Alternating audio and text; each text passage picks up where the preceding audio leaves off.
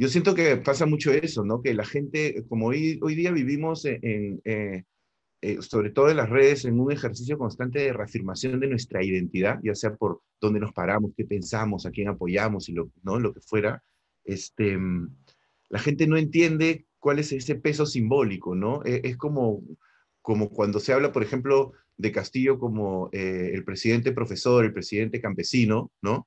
Y la gente te dice, no, pero es un tal por cual, o este, ahora, que, qué sé yo, un corrupto, lo que fuera, y es como, no, es que son las dos cosas, puede ser las dos cosas al mismo tiempo, ¿no? Una cosa es el símbolo y otra cosa e, es, este, eh, la realidad.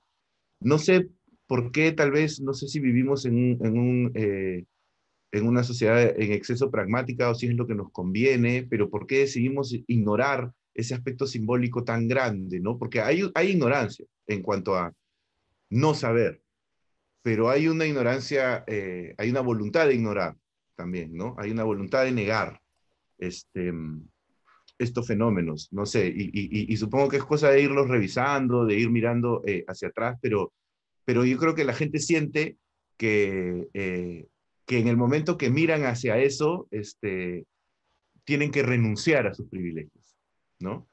Y, porque hay una parte del discurso que sí sostiene eso, que no es la predominante, pero hay una parte del discurso reivindicativo que sí sostiene la renuncia de los privilegios, ¿no? ¿Tú cómo, no sé, cómo ves ese miedo?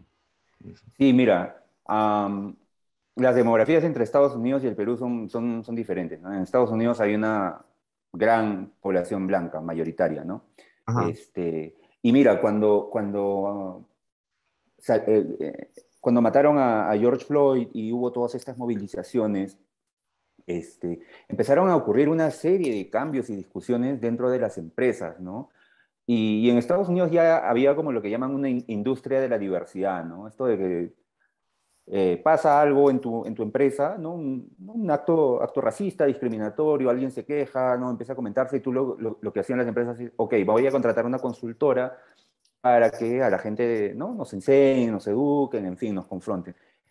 Lo de George Floyd ocurrió, creo que lo que, hizo fue como poner otra, otro, otro peldaño más en la, en la evolución de la discusión. Entonces, muchas empresas lo que hacían era ya no solamente contratar consultorías de diversidad, sino ir, por ejemplo, directamente a, cómo está compuesta nuestra, nuestra organización, o sea, quiénes abundan acá y quiénes faltan, ¿no? Entonces, eh, no, no eran, lo que yo he visto de forma directa, por ejemplo, empresas de comunicación y tal, ¿no? Es como, no, no era necesariamente que despedían gente blanca para traer a gente negra o latina, sino eh, los puestos nuevos tenían que ser ocupados de otra manera, por gente que no estaba, y empezar a valorar también las experiencias de las personas negras y latinas, a diferencia de las personas eh, blancas. O sea, qué experiencias traen estas personas, además de sus conocimientos, a la mesa. ¿no? Entonces, eso fue bien interesante de ver en Estados Unidos. Entonces, los procesos de contratación. En el Perú, y en, yo diría en, toda Latinoamérica, porque somos países muy similares en esto, ¿no? los discursos del mestizaje, Jaime, han estado este, eh, eh, viajando por toda Latinoamérica durante todo el siglo XX. Es, alucinante eso. Yo estoy, estoy haciendo mi, mi, tesis en parte, de doctorado en parte en, parte en eso, ¿no? Eh, sobre eso. pero entonces en el, en el Perú, por ejemplo, solamente analizando el discurso de Rospigliosi, acá el 95% de personas somos mestizas. Eso es lo que dijo. Y es falso, ¿no? Porque según el censo eh, es poco más del 50%, ¿no? Personas que se identifican mestizas.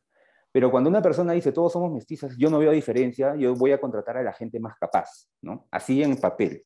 A la gente más capaz, a la gente con mayores este, eh, logros, lo que sea, ¿no? Entonces, lo que ocurre es que como la gente no quiere discutir, la gente con poder no quiere discutir, no quiere ver, no quiere ver un poco las, las, las dinámicas, la sutileza de todo esto, pues lo que se reproduce es la, la, homogeneidad. Los medios de comunicación son un claro ejemplo, un claro ejemplo de eso. ¿no? Entonces, eh, yo lo que, lo que creo que va a ser sumamente importante en este momento, ahora, es que desde los espacios ¿no? de diálogo, desde los medios, las personas sean capaces de incorporar a gente a los debates de estas otras, que traen estas otras experiencias y conocimientos, ¿no? Y en el debate político, ¿no? Ahora que hemos pasado, hace, hace unos meses, ¿no? Me acuerdo cuando, recuerdo cuando hablaba eh, Alberto Vergara y una serie de personas estaban hablando de, tenemos que crear estos espacios de, discusión, de diálogo, traer a figuras eh, políticas para conversar. Yo lo que notaba era que las personas en las que, en las que estaban pensando para estos diálogos, para sacarnos de la crisis, eran principalmente limeñas, eran principalmente eh, este, personas con, con un bagaje educativo universitario. Y eso está súper bien. Pero en el Perú, y eso lo hemos visto en el Congreso recientemente, no se valora la experiencia sindical, por ejemplo. No, no se valora la experiencia del liderazgo indígena como, como igual, ¿no? Porque hay un culto a esto de, tiene que pasarla para, ser líder, para ser una figura política, tienes que tener necesariamente, tienes que maestría o haber pasado por la universidad.